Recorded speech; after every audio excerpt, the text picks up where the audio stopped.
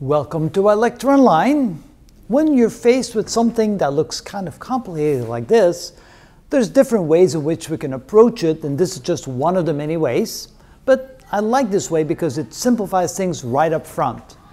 Whenever we see like a cube root or a fourth root or a fifth root and want to simplify these radicals, we want to find multiples of the root. So in this case, notice we have x to the fifth, which can be broken up into the following. This can be written as the square root, or not the square root, but the cube root of 9x to the third x squared. Notice that when I multiply, I get x to the fifth back. And this can be written as y to the fourth times y, Oop, not to the fourth. I want his, this to be y to the third times y. When I multiply, I get y to the fourth back, divided by the cube root of 4 times z to the sixth times z. Again, when I multiply, I get z to the seventh. Now, why did I do that? Because whenever I have a, a power that's a multiple of the root, I can take it outside the radical. So this can be written as Notice I can pull out an x and I can pull out a y. So this becomes x times y, and I'm, what I have left, I have the cube root of a 9, x squared, and y to the first power. In the denominator, I can do the same thing. I have z to the sixth, I take the cube root of that, I get z squared. I take the power and divide by the root, I get z squared, and then I have left the cube root of 4 times z. All right, now I'm in pretty good shape, except I have a radical in the denominator. I'm trying to get rid of that, so what should I multiply things by in order to get rid of the radical? So I'm going to multiply that times the cube root of something and the cube root of something. What is that something? Well, we'll figure it out.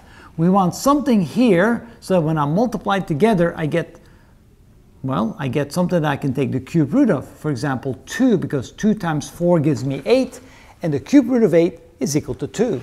And I write z squared because z squared times z gives me z cubed, and the cube root of z cubed gives me z. So whatever I multiply the denominator with, I must multiply the numerator as well.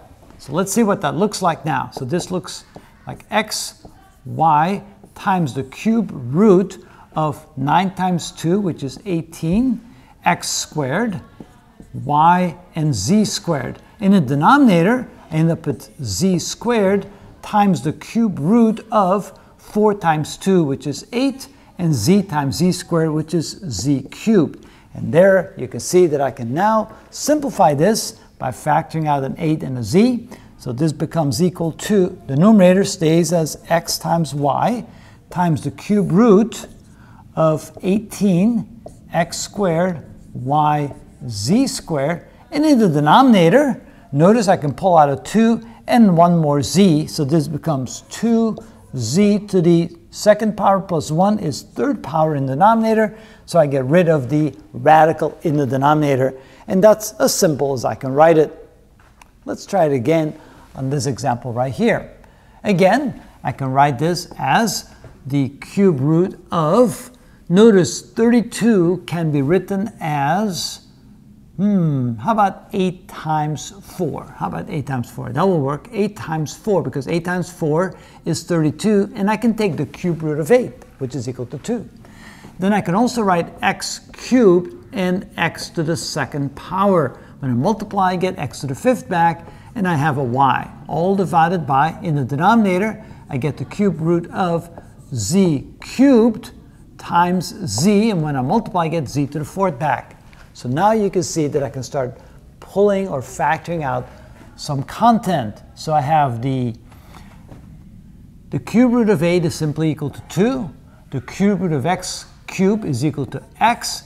And that leaves me with the cube root of 4x squared y divided by the cube root of z cubed is equal to z. So z times the cube root of z.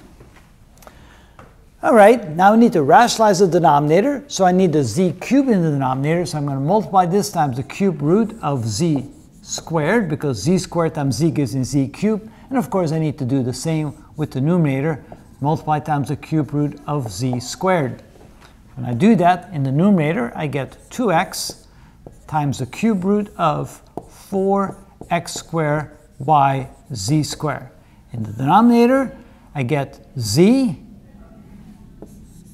times the cube root of z cubed, the cube root of z cubed. And of course, that simplifies simply to z, so this can then be written as 2x times the cube root of 4x squared yz squared. And in the denominator, I can write this as z times z or z squared. Go. And that is how we simplify something that looks as bad as that. That's how it's done.